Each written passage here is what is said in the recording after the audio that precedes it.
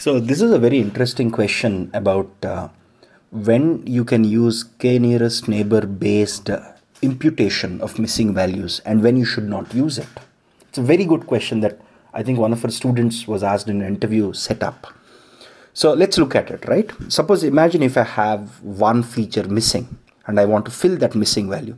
We have discussed missing value imputation in lots of details in the course, like mean imputation, median imputation, model based imputation in the model based imputation, we said we can use any model like k nearest neighbor to fill the missing value.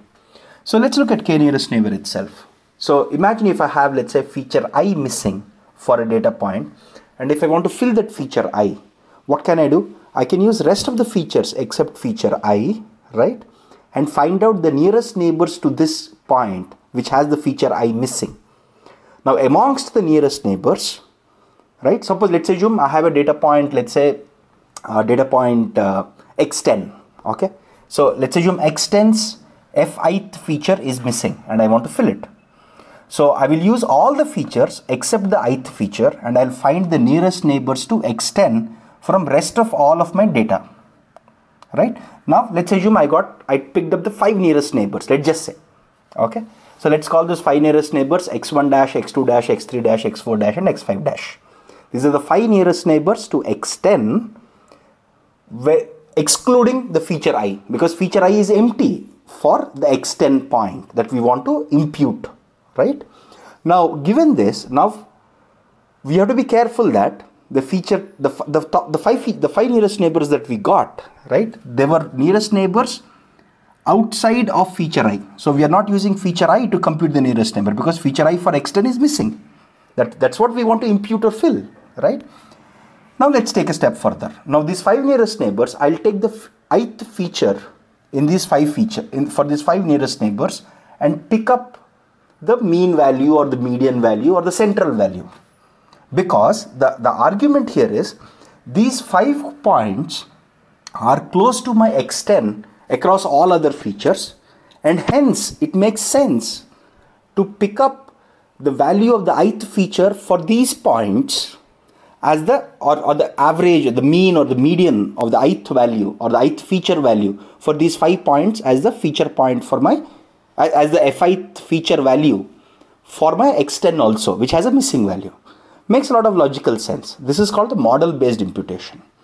Now this makes sense right? This makes a lot of sense because you're saying okay this point is, uh, similar to the, these other five points across all other features right? Which means its ith feature also must be similar to these values. Makes a lot of logical sense. But here is the catch. This may not always be right if feature i is different from all other features.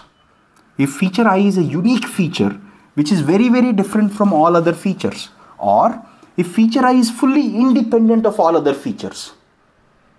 Right? Here we are we are imputing the feature i right using all other features. But if feature i is independent of all other features, you can't impute like this. Right? The very fact that feature i is independent of all other features f1 to fd basically means you can't predict feature i using all other values, which is what you're trying to do using KNN. Right? So the KNN based imputation or any model based imputation typically fails if the feature that you're trying to impute is independent of other features, number one.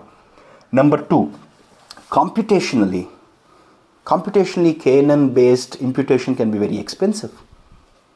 Right? That, that's a problem that you run into many, many times. Right? So, uh, because for every missing value or missing feature, for every point, you have to find the nearest neighbors, then impute using the nearest neighbors. The problem here is it can be very time taking, especially if you have large amounts of data. If your data set is large, KNN based imputation can take forever to achieve. Right? That's, that's, that's an important disadvantage. But if your data set is small and if your feature I is not fully independent of all other features, you can easily use KNN based approaches. These are a couple of situations where KNN works well or does not work well. Right? And this is a good enough directional thought. And we derived all of this logically. Right? There is no new concept we learned in this. So, a lot of problem solving in interviews is about taking the basic concepts that we have learned and applying them. Right? This question while while on the surface it sounds very hard if you go dig deeper if you think carefully step by step what is it that we're doing? Right? Then you can quickly say where it works or where it does not work. Right? I hope this is clear now